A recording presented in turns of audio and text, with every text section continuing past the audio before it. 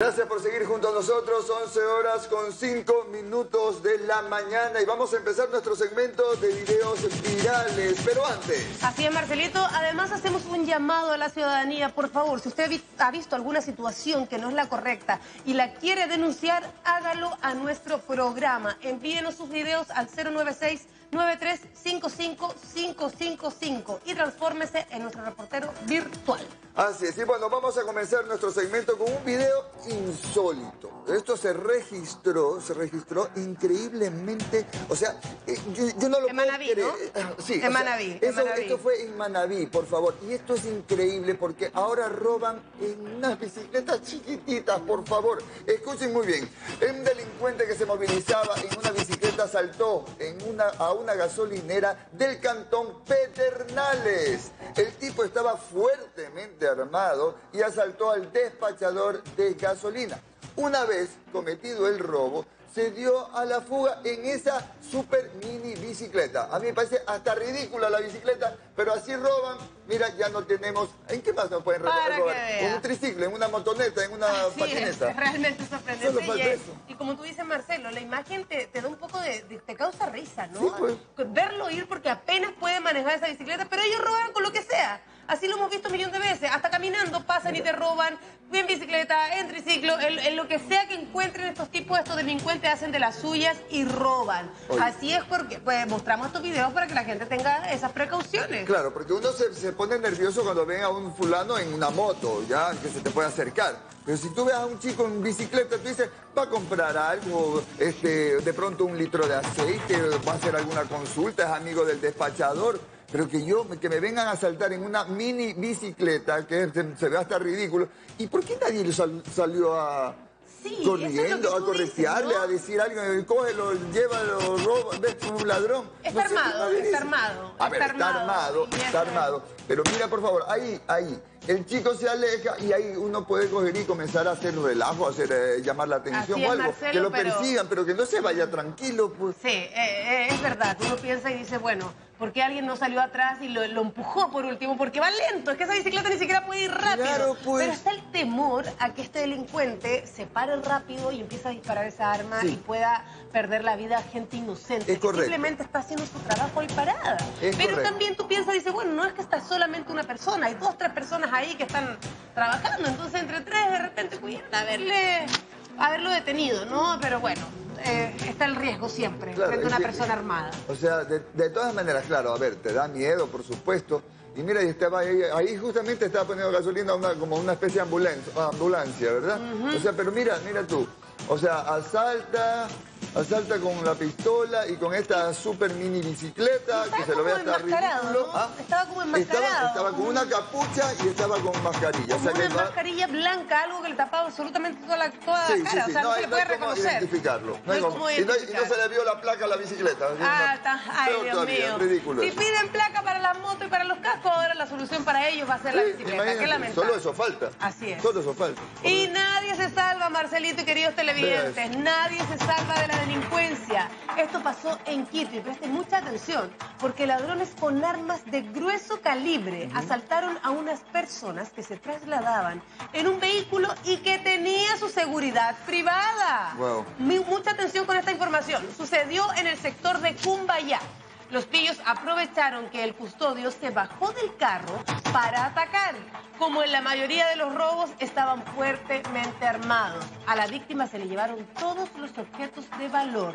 Es sorprendente esta imagen. Imagínate tener guardia privado, ni siquiera eso. Ahora te salva la vida porque tú dices, bueno, si, tengo los recursos voy a contratar a una persona que, me, que, me, resguarde. Pero mira, esta situación. Claro, a ver, el crimen organizado, ¿qué es lo que hace? Se va a las ciudadelas privadas en donde se nota, se sabe que hay gente de mejores recursos económicos y van en tremendos carros y uno se supone que de pronto esas personas tienen dinero, tienen computadoras, los celulares de alta gama, etcétera.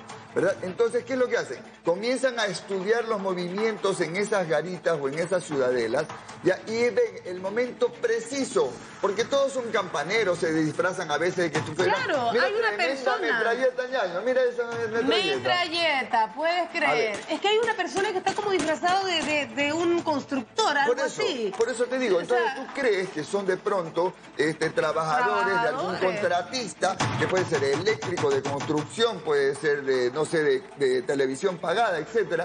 Entonces tú estás tranquilo o tranquilo. ¿Y qué pasa? Se dan cuenta si los, eh, los de... Mira, el- ellos hacen su trabajo, van, revisan los vehículos, el guardia privado, ya... Mira, Cuatro, son una banda, una verdadera banda con metralleta, imagínate, qué miedo, qué miedo. Ahora, ¿sabes qué? Aquí también hay, hay un tema, porque si tú tienes un guardia eh, eh, privado que te, que te respalde, que te, que te proteja, lo ideal sería de que esta persona mire hacia todos lados antes de bajarse frente a, a- a una, a una garita que está cerrada antes de bajar, porque si él hubiese mirado, se da cuenta que desde atrás vienen los tipos. Fíjate en el video. A Vienen acercándose a de atrás ver, agachados. Entonces, si él se da cuenta a tiempo y está pendiente, ahí mira, ya vienen. Ahí ya vienen atrás. Si él mira hacia atrás, se da cuenta que ya se van acercando agachaditos. Entonces, él no se percató de eso y ahí yo creo que hay un grave error de la persona que tú contratas también para que te resguarde. No puedes contratar, ah, por favor, hay empresas especializadas para eso. Yo no, no quiero, o sea, culpar a esta persona. Yo creo que todos cometemos errores, ¿no? pero sí creería yo ver, que si es su trabajo, él cosa. debió haber estado más pendiente antes de bajarse él. Jackie, recuerda que las armas, el portar armas están prohibidas, ¿verdad? Ok. Sí. Entonces, los guardias en las garitas de ciudadelas privadas no pueden, por lo general, creo que no pueden tener armas, nadie puede tener armas. Los únicos armados aquí son los delincuentes. Entonces, ellos. Ellos saben exactamente que como no están armados, no va a haber una, eh, no van a repeler ese, ese ataque. Entonces van con toda la tranquilidad. Y cuando tú ves una ametralladora, ni siquiera una pistola o revólver, cuando ves una ametralladora sabes que no hay chance al pataleo. O sea, No, ahí ya no puedes o hacer sea, nada. eh, Por, solo por ambos que- lados lo estaban Solo atacando. faltaba que salga Rambo nada más y que asalte. Así O sea, es. es lo único que nos falta. porque Los vienen estudiando. Entonces, Sí. por eso es que nosotros decimos, nosotros decimos que no hay lugar seguro. Que pueden dificultar un poco más la acción de los delincuentes, sí, pero seguros para nada. Sí, la vez pasada se entraron a, la, a una ciudadela donde donde- ja, Ellos bueno, tienen el poder digo de entrar, de salir, Dios mío, hacen lo que quieren, es impresionante. Qué, qué lamentable que, que tengamos esa inseguridad a tal manera que con seguridad pagada no logremos también estar un poco más tranquilos, porque después de que este video se ha viralizado, todo el mundo parece chiste desde que contraten una seguridad privada. Así es, o sea, pero por bueno. favor, invertir en eso no... Ya, oiga, y hablando de, de inseguridad también en todos lados, usted, ojo, si se va a un gimnasio, pilas, Así es, mucha atención, porque en un gimnasio, o sea, ni en los gimnasios podemos Ah. estar seguros, en un gimnasio de Mapasingue Oeste, una mujer mañosita se lleva un celular sacándolo del bolso de otra persona. La mujer aprovecha justamente que nadie la estaba viendo para el disimulo sustraerlo. Está claro que ya no hay cómo confiarse de nada y de nadie. En las cámaras del gimnasio registraron claramente la cara de la mujer, por lo que la víctima pide que le devuelva el teléfono para evitar viralizar su imagen. Ojo, que ya se viralizó, pero más que... Ñaña, yo creo que ya se, le pasó el tiempo. Se Sí. le pasó el tiempo porque ya está viralizada la imagen y no solamente en redes sociales, sino en televisión también. ¿Por qué sacamos estos videos? Para que usted se dé cuenta que no crea que en, en un gimnasio, que a veces la gente pone eh, seguridades en sus, en sus lockers, que le llaman, ¿verdad? Pero aquí cualquiera de estas personas con esas caritas así como que no roban nada, como que no matan ni una mosca y son tremendas ladronas. Así Miren es. ustedes, no se Eh. confíen ni de su sombra ahorita confíen. Oye, es que uno va al gimnasio y tú piensas que la gente que va al gimnasio va enfocada en entrenar, en la vida sana, en cambiar su estilo de vida, todo es súper positivo. Mira. Y te topas con esta mujer, Mira. mira que ella tiene el celular de ella, Claro, ella en la mano para distraer, como Ajá. que, ay, estoy revisando mis redes sociales, saber Ajá. qué, qué hago el día de hoy. Ay, qué pereza, me Ay, estoy desperezando. Espérate un ratito. Ay, am, ñam, ñam, ñam, ñam. Y lo empuja, lo va Lo empujando empuja- con el codo. Sí, lo va acomodando con el codo. Ahí coge y usted manda el, el otro celular, lo pone abajo, mío. lo pone el otro. Pero mira hace toda eso. la. Oye, ¿sabe qué? Esta, esta, esta delincuente, esta ladronzuela, sí ya tiene experiencia. ¡Ay, se fue! Y se sentó arriba del teléfono para Claro. esconderlo, ¿no? Claro, y ahí lo va guardando. Ahí lo, lo va guardando. guarda, y bueno, si te he visto, no me acuerdo. Pero sí, oye, pilas, pilas a los propietarios de los gimnasios, a las personas que atienden y que dejan cosas cerca en los mostradores. Así es, mucho cuidado. Y yo siempre les digo, es más, cuando yo voy a algún Sí, tú eres de las personas que están bien pendientes de esas Amiga, amigo, por favor, mire, no confíe en nadie. No porque usted vea gente bien vestida, que vea abuelitos que, son, que lo que tiran es un poco hasta, hasta ternura, no se confíe de nadie. Todos son potenciales delincuentes en estos momentos. No, y, tú, y tú piensas que incluso, eh, ay, que yo Ah. estoy pendiente de mi teléfono, no Ah, me va a pasar nada porque yo siempre lo tengo. Oye, uno, un segundo que te agachas a buscar algo, un segundo, ese segundo es el delincuente ya arrasó con todas tus cosas. Claro. Siempre, y muchas veces los dejan cargando Ajá. en, los mostradores, En los ¿verdad? mostradores. Entonces tú ves el cable y todo lo demás. Y cuando te das cuenta, solo le quedó el cable. Así Ojo, re- recuerden que mujeres embarazadas, personas adultas mayores, este, los niños o niñas, adolescentes, mire, es más, El que menos se imagina claro.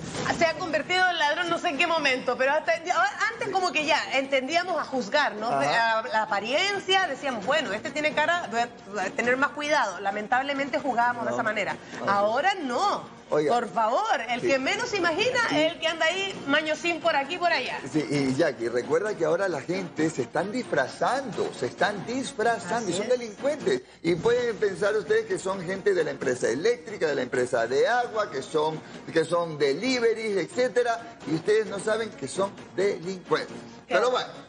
Vamos a avanzar hoy con este tema que en realidad yo lo dije, ya yo lo advertí que una vez creada la regla se iba a crear la trampa. Bueno, así es. cuando la ATM dijo que cada motociclista podría hacer el sticker para los cascos homologados en el lugar que mejor consideren, pues las personas que vamos a ver en nuestro siguiente video viral se lo tomaron súper en serio. Un ciudadano captó el momento en el que tres sujetos se movilizaban en moto. Primero que son tres. Y uno de ellos, el único que tenía casco, portaba un supuesto sticker, pero hecho con papel y pluma. Ponte pila. Dios mío. Mira tú, por favor. Ahí está.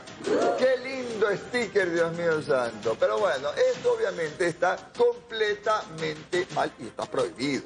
Recuerde que el conductor y el acompañante deben portar el casco con un adhesivo de 13 por 4, 13 centímetros por 4 de ancho. Letra de tamaño 84 y color negro. Si no lo hacen así, la multa va a ser de 85 dólares. Esperemos que las autoridades den con estas personas y también los sancionen como dictamina la norma.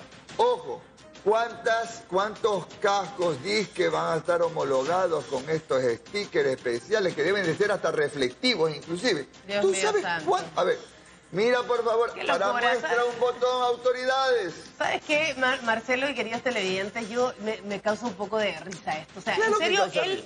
Quiere cumplir con la regla por un lado, porque por otro lado van tres en la moto. Entonces ya él no está cumpliendo una de las reglas. Entonces, ¿de qué le sirve no cumplir una si por otra mente trata de... O sea, no es realmente insólito. Insólito lo que estoy viendo. Eh, ya hace una, una, una cosa realmente chistosa. O sea, eso es lo que... no- para él yo creo que es normal, ¿no? Él pensó O que sea- eso lo podía hacer.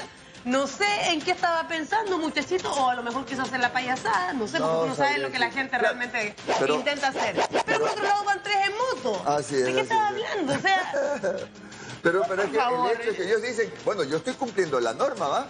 Tenemos que tener el, el- el sticker ahí en la, en la parte del casco con el número y la serie de la placa, ¿verdad? Entonces yo lo estoy cumpliendo. Pero, oiga, no seas ridículo, peñaño, pero a papel y pluma no seas. no, yo, no ¿sabes que cuando tú lo, tú ridículo, lo pues. mencionaste el día de ayer, Yo dije, dije. ya, no, no creo. O sea, de verdad, eh, espero y aspiro y me esmero en pensar de que a alguien no se le va a ocurrir hacer algo como eso. O sea, pero, mira, Aquí, ahora, ahora yo digo una cosa. Se supone que a distancia se debe de ver la placa, ¿verdad? Okay. Y que coincida porque ahora uno, vamos a ver, no sé si a ti te ha pasado, pero yo en, las personas que sí están cumpliendo con esta norma, yo, he visto, justo yo veo el casco, inmediatamente veo la placa. Veces hay que está en el casco y la moto no tiene la placa. No, es que es insólito. Yo no sé qué va a pasar, no sé cuántas personas ya irán sancionadas con este tema, porque yo sé que ya hay personas sancionadas, muchísimas. Pero esto va a ser un problema y una locura, si no se arregla pronto, Otra cosita. Porque no, no, no se entiende el concepto o la gente no entendió bien lo que tiene que hacer, o están tomándosela para chiste, como se toman todas las cosas, porque nada es que lo cumple, ninguna regla eh, eh, están cumpliendo hasta el momento. O sea, no cumplen una, menos van a cumplir la otra. Y sabes qué, lo que pasa es que eh, en el contexto aquí hay una, hay una reflexión. No le están haciendo caso a las autoridades.